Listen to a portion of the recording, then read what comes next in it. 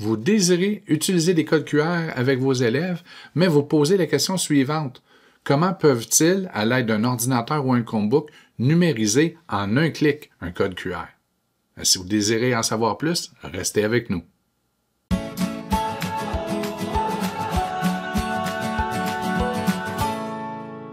On le sait, si les élèves ou n'importe qui utilisent un cellulaire ou une tablette iPad ou Android à l'aide de l'application Photo, ils peuvent numériser un code QR.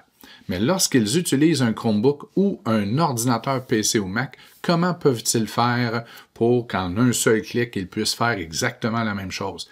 Bien, restez avec nous, il y a des trucs. Donc, en voici quelques-uns. Vous en choisissez un et vous l'appliquez.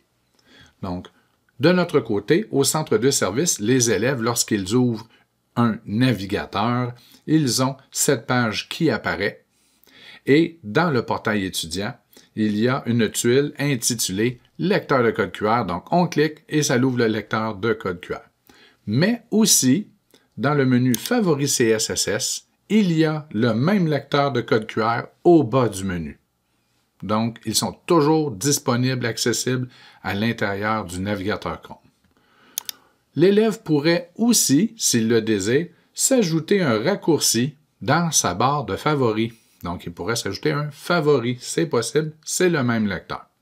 Et dernièrement, si vous désirez simplifier la vie de vos élèves et que vous utilisez soit Teams, soit Classroom, vous pourriez ajouter un raccourci dans votre environnement de travail. Donc, allons-y avec un exemple.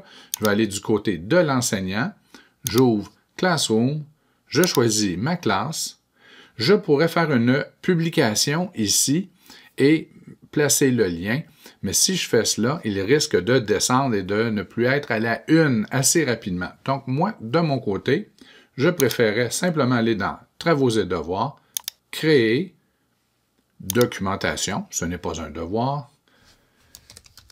Lecteur QR, et là, j'ajouterai un lien et j'ajouterai le lien du lecteur de code QR. Je descends, je vais le retrouver, il est ici, et j'ajoute. Je publie, et je publie dans aucun thème volontairement. Je ne choisis pas une semaine, je laisse aucun thème.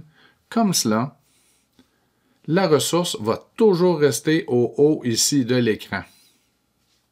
C'est un avantage. Donc, les élèves, lorsqu'ils sont dans Classroom, désirent numériser un code QR, vont aller dans Travaux et devoirs, lecteur de code QR, et voilà, la caméra, le champ, la caméra est obstruée, mais ils peuvent maintenant numériser le code QR. Allons-y. On va le placer droit. Et voilà, c'est fait. Donc, euh, les élèves peuvent utiliser, je vais fermer ça ici, la tuile lecteur de code QR, favoriser SSS, le lecteur de code QR qui est ici, mais du côté de l'élève.